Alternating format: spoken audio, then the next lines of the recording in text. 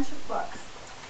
Well, I really love my job. The hardest thing, sometimes people say, like my editor will say, okay, you have to turn in the 5th of December.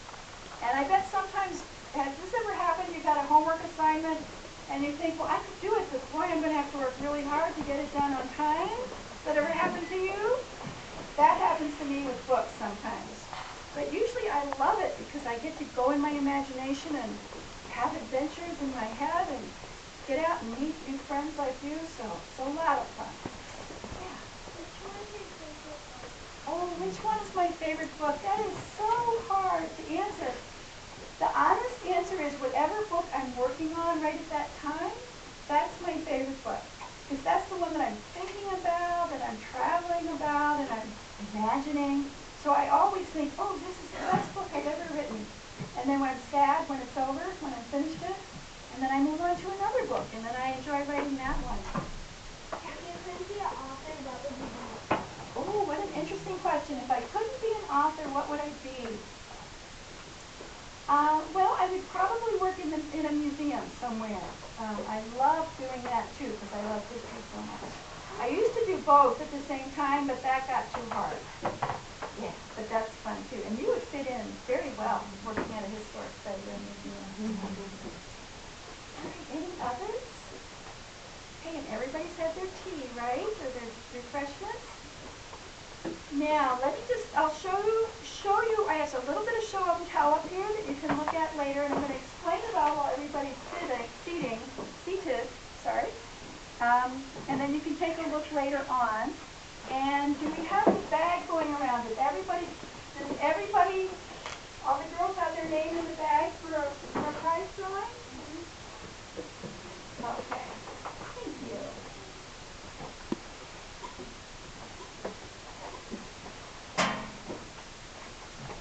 Alright, so we'll do that glass. So I'll just show you first what I've got up here. Now this was this is kind of fun. This is about Kit. And remember I talked about how a lot of people were struggling for money back then? And I showed that picture of the lady who had gone grocery shopping and she had some big sacks. Do you remember those? Because people used to buy food in big, big quantities. Often now we get little quantities. So in Kit's time, your mom might have gone to the store and bought this much flour, a big sack of flour. And before Depression, which is time when money was really tight, these sacks would just be white. And then some ladies figured out, this is not paper, this is a nice, sturdy cotton cloth. And they looked at these sacks and said, you know, when this sack is empty, I could make a new skirt for my daughter out of this cloth. And then the people that made the flour sacks said, well, if people are going to make clothes out of our sacks, let's make them pretty. Let's put colored designs on there, and then hopefully everybody will buy our brand of flour. So all these sacks started having these designs on them. And the ladies would buy the sack, and when it was empty, they'd carefully take off this label, and then they'd have a piece of cloth. So I bet when school started this year, some of you went shopping and you maybe got a new outfit to start school with. I bet you went to a clothes store, didn't you? Well, if you lived back in Kit's Day, you might have gone to the grocery store to get your new outfit because you'd have to pick out one of those sacks. So here's some samples. All of these pieces of fabric came from a sack that had flour in it or potatoes or something. So if you were picking out your new outfit for the first day of school, how many of you would go with red and blue stripes? Nice and bright and cheerful. How about purple with little flowers? Oh, everybody likes that one. Or here's something that's quiet, white with some colored leaves on it. So you can see the different companies did different things and they appeal to different people. And then I also have a couple of pieces from a quilt that someone was making, and these are also, all the fabrics came from those sacks. So in addition to quilts, you might have picked out something like this for your new outfit. Now for Josefina, I have a little piece of the kind of weaving that girls and women did at that time, that when they lived in the desert.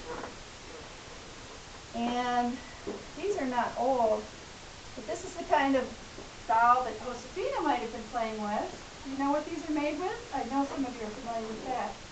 Corn husks, right. Very simple to make, but it might have been one of the few toys that a, a child had. Now for Kirsten, remember we talked about you might not have very much room if you were traveling and immigrating. Well, in the Kirsten story, there's a little box described like this. This one probably came from Sweden or Norway. And if the kids didn't have very much room for toys, they had to think hard about what they could play with. And in the Kirsten story, one of the things she gets to play with is, you know what that is? It's not a bouncy ball. It's a marble, yes. This is a very old marble. It's made out of clay, just like the houses that we saw in the Josefina books. Today, most marbles are made out of glass. So I have some old marbles. Uh, if you want to take a look at them, just look at them inside this little box, okay? We'll leave them on the table. But that was a toy that you could just put in your pocket and it wouldn't take up much room. And you can see the ration book here. I've got some things from Molly's day.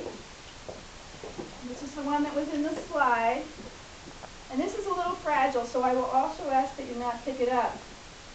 I usually end up with little stamps falling out. But see all those little tiny stamps? I'll let you see this way. Those are the things that if you went to the grocery store, you, the grocer would say, well, that butter is going to cost $5 and four stamps. And then you or your mom would very carefully pull out just the right number of stamps. And when your book was empty, it was empty, so you got a new one. And let's see, we have a basket from Kentucky, so you can see what some of those beautiful baskets look like. And this is the kind of lamp that some of the men in Kentucky used. They put it on their helmets when they were doing mining work, going into the mines so that they could see. And that's on the cover of the Kit book. So, okay. There's a couple things up here that everyone is welcome to pick up. We have a, a fun little activity sheet you can take home. And everyone's welcome to take home. Got a stack of bookmarks up here. You're all welcome to take them home. Let's do the